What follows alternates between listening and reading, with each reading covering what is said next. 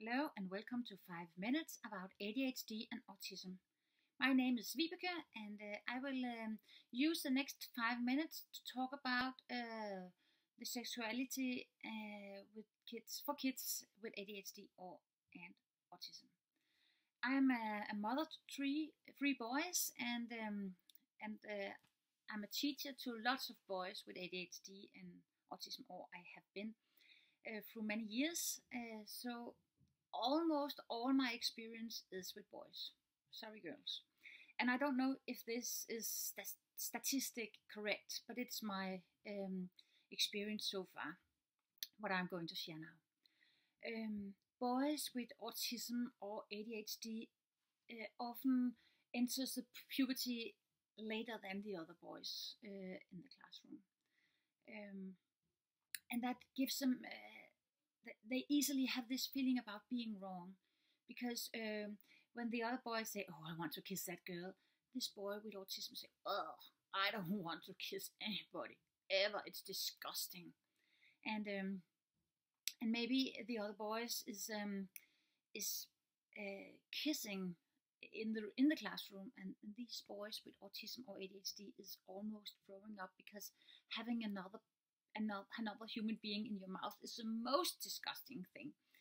Um, and then they have this feeling I'm wrong, and maybe they um, they they try with porno to see am I a man? Can I have a uh, does it work down there or anywhere in my head? Um, or, or what am I totally? Uh, is this body totally wrong, or is this body maybe homosexual?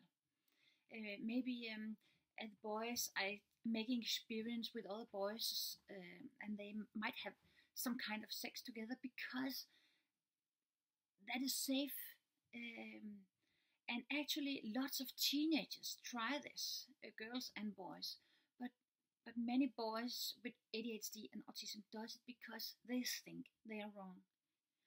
But actually they should just wait maybe two years more than the other boys, and then they will be ready to be kissing and be hugging and um, and all that stuff.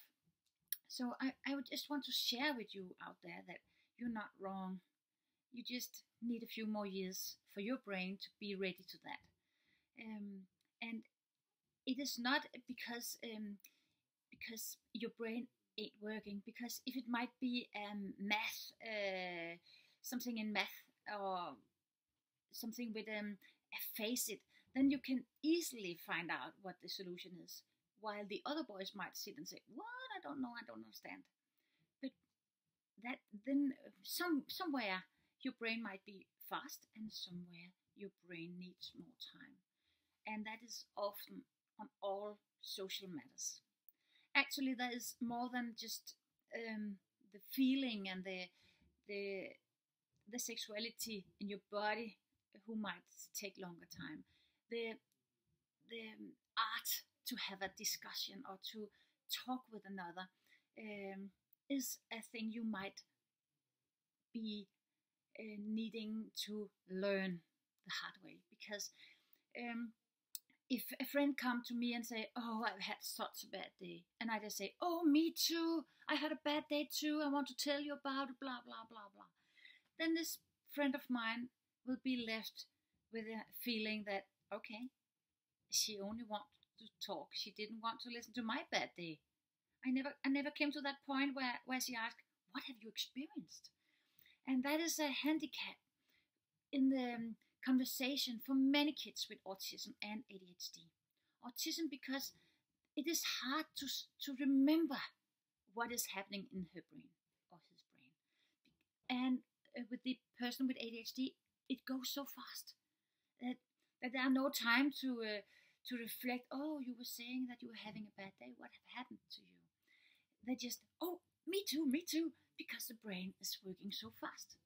And all this stuff before you have a relationship with a, a, a boyfriend, a girlfriend, you you need to learn this these things because your your girlfriend or your boyfriend won't be a boyfriend or girlfriend for a very long time if you don't learn to conversate, learn the conversation.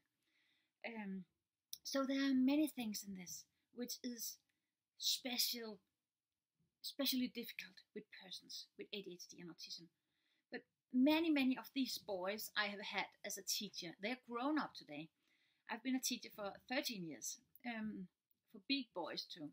And they're having good relationships, nice girlfriends, and, and it works for them. They just needed one, two, maybe three more years than the others. So I just want to tell you out there, you're not wrong if you are not ready to kiss when you're 15. It might it might take a little longer for you, but you're not wrong. That's just the way you are.